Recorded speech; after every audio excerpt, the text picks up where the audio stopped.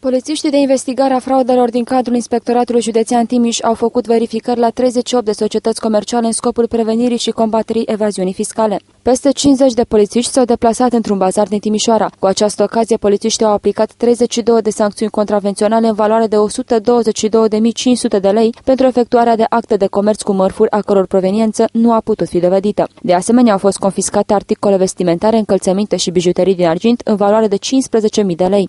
Acțiunea a vizat verificarea legalității de funcționare a societăților comerciale cu privire la existența documentelor de proveniență a mărfurilor expuse spre vânzare, emiterea documentelor justificative pentru operațiunile efectuate și concordanță între stocurile scriptice și faptice de mărfuri aflate în gestiune. Polițiștii avertizează pe comercianți că astfel de acțiuni vor fi desfășurate și în alte zone ale orașului.